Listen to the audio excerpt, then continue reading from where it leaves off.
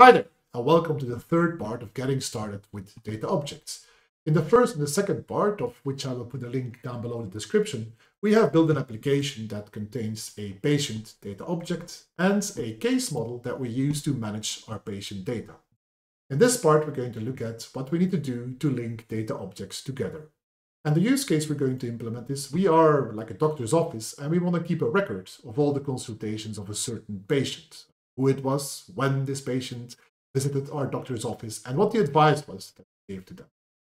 Let's go into our app again, add a model, create a new model, and select data object. And let's call this one consultation. I already put this one in my copy paste because I make a lot of typos in this word. Let's create a model. And the first thing that I want to store for consultation is obviously the patient. So, this time we're going to select the data object type. I'm going to reference the patient data object. And from the consultation point of view, there's only going to be one patient linked to it. Some other bits of data is the when timestamp. It's a date with time. A summary that's a string and perhaps a description which we can use to put in the advice that we give to our patients. Here we go. And like before, we're going to create a service model, a database one, on consultation, data source. Let's store this one in the consultations database table. Lookup ID, and there we go, our service model for the consultations. Let's open the database details. And again, we need to map exactly how our columns should be stored. So I'm going to use again similar pattern as before with a name and an underscore to avoid clashes with keywords in the database. Now what's new here is you can see that the system detected we had a link, a relationship with the patients, and it suggests to create a join table with a certain name and certain columns. And this table, technically behind the scenes, will be used whenever we need to join the data together. Now, whether or not we are going to do a join by default is done is, is triggered by this little checkbox. If we leave it checked, it will fetch all the patient data whenever we fetch the consultations. If not, we will need to fetch it ourselves. Let's generate our database changelog. We can see consultations table and we can see our join table. All right, that's it from the consultation point of view. And we could be going now, but um, it would be really interesting if we can also fetch the consultations whenever we get our patient data, because that's what we care about. So let's go and look for our patient data object and add a new field called consultations. Let's make it a data object. Now pick the consultation data object and from the patient point of view, there are multiple consultations linked to it save it. And let's have a quick look at the service model. You see that the system again saw there is a relationship and it suggested the same join table. Um, and if we open up an operation, we can see that we can now actually add uh, query filters that are not only based on the patient fields, but also on the consultations field. So we could search for patients that uh, arrived at a certain time or with a certain disease, with a, with a like, uh, like this and stuff like that. All right, cancel it and save this. Okay, so we have our data part done. Let's have a way now to gather this data and store our data. Uh, search for case model, this. And like before, what I'm going to do is I'm going to use a user event listener to have a button in global work. And whenever we press it, we're going to add consultation. And we want to make this repeatable because we want to store multiple consultations and have a button each time that we press it, uh, have a button each time that we can allow to press it and create a new consultation. And what I'm going to do here is I'm going to start a process like we had here for the patient update. Yep.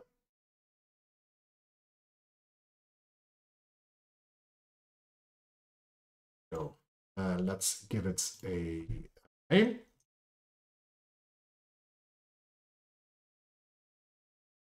And the process is quite simple. Uh, here in the BPMN process, we are going to gather our data.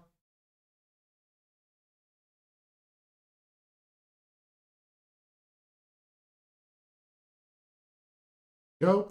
And then we're going to create a new data object, our consultation data. Go.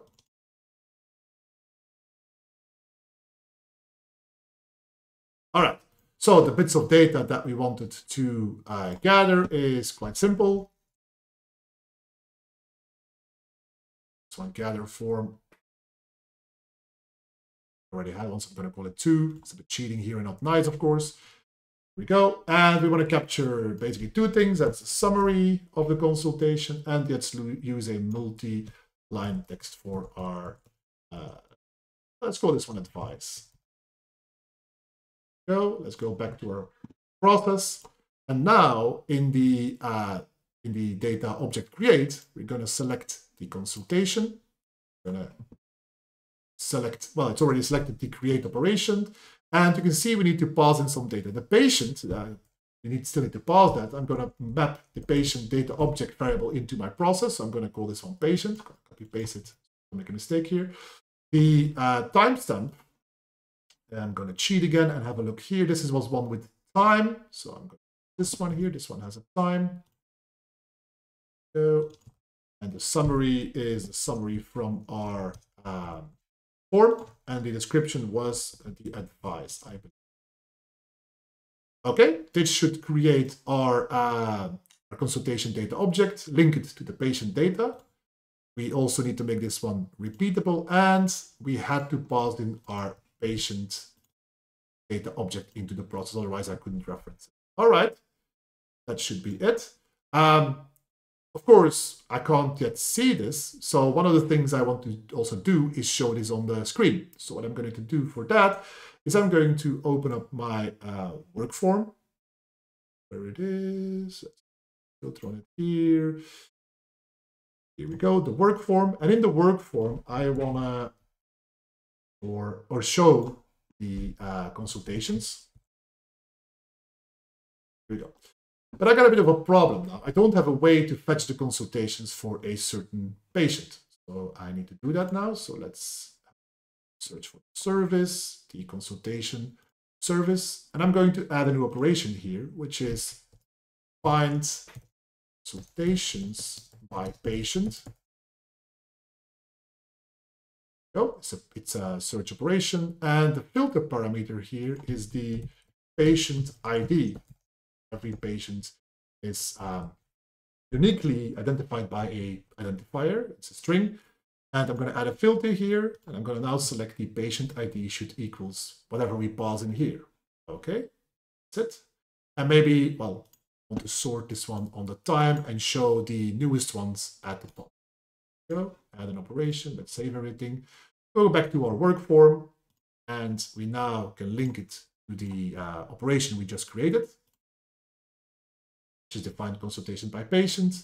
And I need to map it to uh, the patient ID need to map it to a value. Now, we're in the front end now because this data table is going to be shown in the front end. So we need to use a front end expression, which is patient ID. That's it. So we're going to use the patient that we have available and pass the ID into the operation, which is going to fetch the consultations for us.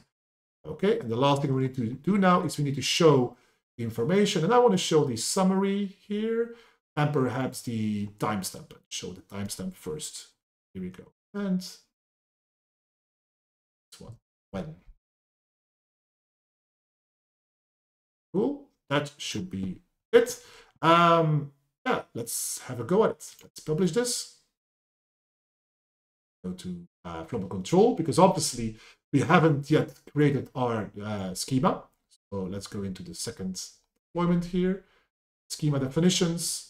Now need to create the database tables for the second Liquibase change log. Update database. Go. Go now to work.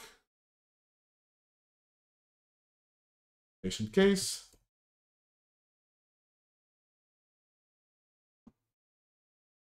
And add a consultation. That starts a new BPMN process instance. Thing is we need to fill in the data. So let's say, for example, this patient had a headache. Advice was um, gave him some pills. Let's complete it. And if I now go to the work form, you can see that our data table with the consultation shows that we had one um, uh, consultation going on here. Now, one of the things that I forgot to do is I forgot to add the description. So let's do this. So let's add a view form to the data table. So view consultation. Yeah. And it generated for us already, based on our data object structure, a form, but I don't like the fact that this one is a text field, so I'm going to switch this one to a multi-line field with the same binding. Remove this one. Here we go. I'm going to publish this. And I'm going to use a cool feature of Flowable in Flowable Inspect that when I uh, refresh, I can see there's now a migrate button to migrate this to the latest version that I've deployed. Click it.